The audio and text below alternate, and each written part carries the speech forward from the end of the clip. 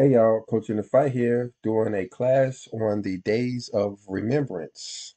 And in this class, I'm going to show you the relationship between June the 19th and the days of remembrance.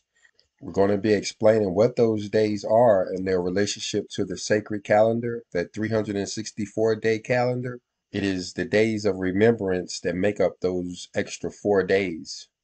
So let's get started. Now, the first verse that I want to bring your attention to is over here in the book of Enoch in chapter 81. This is verse 6, which is saying, Respecting these, men greatly err, and do not compute them in the computation of every age. This is talking about the four extra days, the seasonal days that are on the sacred calendar. We can read about that in verse 5, but verse 6 goes on to say, for they greatly err respecting them, talking about those four days.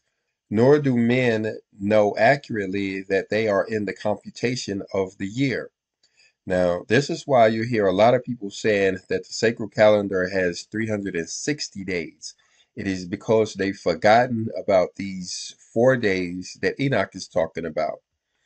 It goes on to say, But indeed, these are marked down forever so these days, even though we have forgotten them, are on the sacred calendar forever. Now, notice this part. It says one in the first gate, one in the third gate, one in the fourth, and one in the sixth.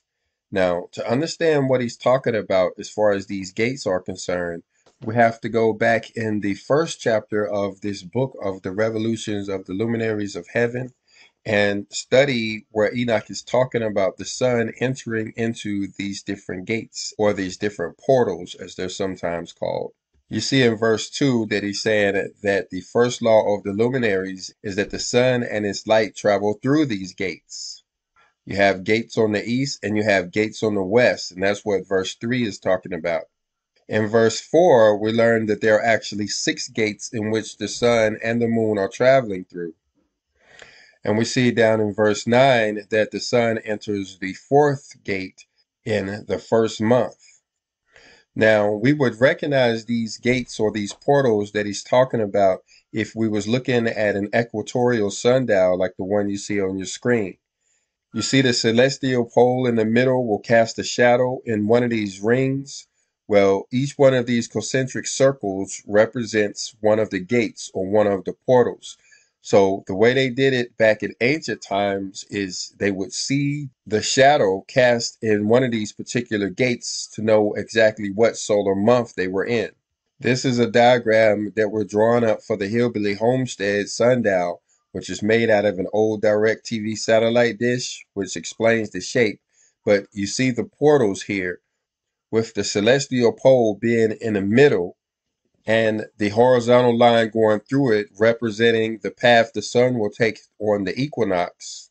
The rest of these areas between the lines represents each gate. So back over here in the book of Enoch, we can see how long the sun remains in each one of these gates before it transitions to the next. We see that the sun enters the fourth gate in the first month and remains there for 30 days in verse 12. Then in verse 15, we can see that the sun enters the fifth gate and remains there for 30 days.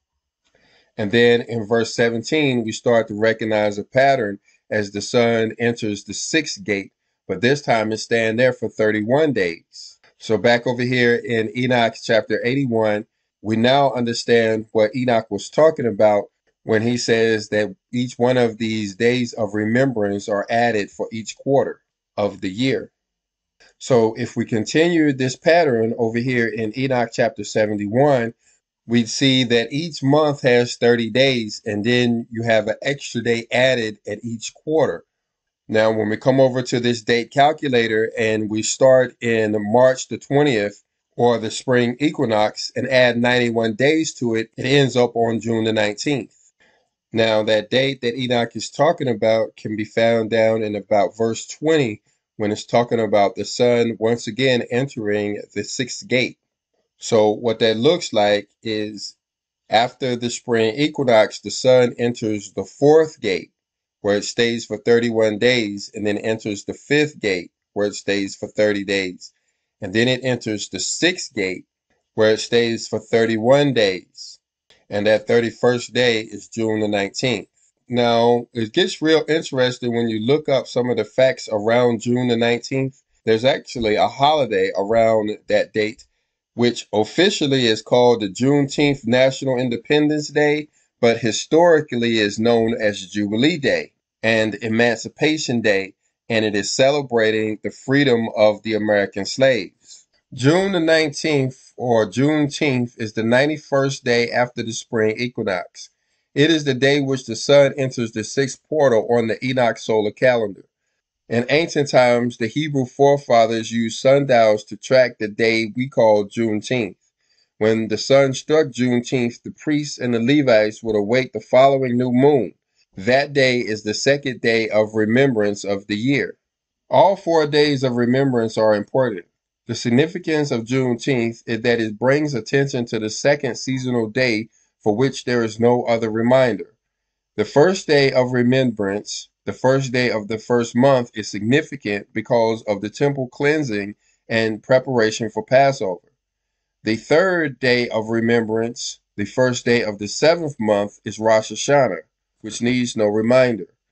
The fourth day of remembrance is the seventh day of the Feast of Dedication, or Hanukkah. But other than the day of remembrance, the first day of the fourth month has no special appeal and is often forgotten. Juneteenth helps to remember the day of remembrance that is most forgotten.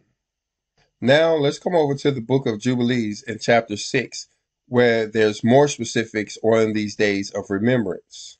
Now, when we drop down and look at verse 23, it says, And on the new moon of the first month, and on the new moon of the fourth month, and on the new moon of the seventh month, and on the new moon of the tenth month are the days of remembrance.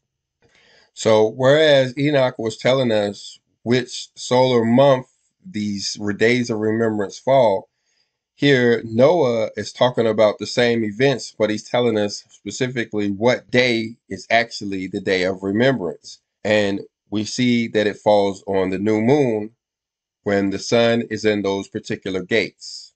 So that would be the fourth gate, the sixth gate, then the third gate, then the first gate. Whenever the sun's shadow is being cast in one of these gates and there is a new moon, that is the day of remembrance. Now back over here in Jubilees, it says, and the days of the seasons of the four divisions of the year. So looking back at this diagram, we see those four days added here as the seasonal days. These are the days that Enoch was talking about that men greatly err because we forget about these days and we don't remember these days throughout the year. In that same chapter 81, Enoch goes on to name the conductors of these four quarters as if there are angels over each one of these four seasons. The first name was Melchiel, the second was Ahimelech. The third is Melial and Nerel. Then Jubilees goes on to say, These are written and ordained for a testimony for forever. Now, that's the same thing that Enoch was talking about. This never changes on the sacred calendar. Now, if this all sounds unfamiliar, it's because we've forgotten the days of remembrance. But now look at verse 24, what Noah did after receiving this information. It says, and Noah ordained them for himself as feasts for the generations for forever. So Noah proclaimed feast days on each one of these four days of remembrance. It says, so that they have become thereby a memorial unto him. And maybe this is what we all need to do is turn these into feast days, days when we would have a barbecue or some type of event to remind us of these days of remembrance. Now, what's interesting is when you continue to read in this same chapter, Noah seems to be making a connection between these four days of remembrance and the events around Noah's ark. Like in verse 25, it says, And on the new moon of the first month, he was bidden to make for himself an ark.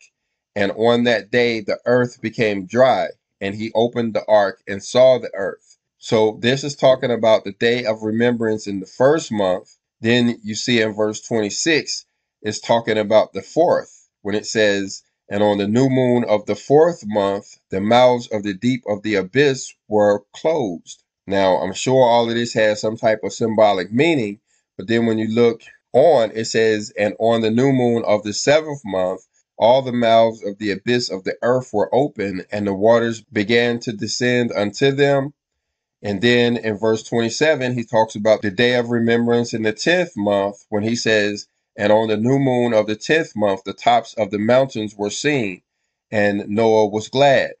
So, what I believe we could do, and maybe we'll do it in another class, is compare these days of remembrance and these accounts in Noah to what we know around the sacred calendar. Like, for instance, how the new moon in the seventh month is actually the day of the memorial of blowing of trumpets. So, is there some relationship to what we read in Noah's story where it says the mouth of the abyss were opened and the waters began to descend unto them? Well, I think it's definitely a good idea to go in and see if there's some correlation between these events and what we can expect in our spiritual life. So now you must be wondering okay, when is this day of remembrance? Now, again, like we talked about toward the beginning of this video, an important marker is June the 19th, Juneteenth, because it is the first new moon that falls after June 19th that is the day of remembrance.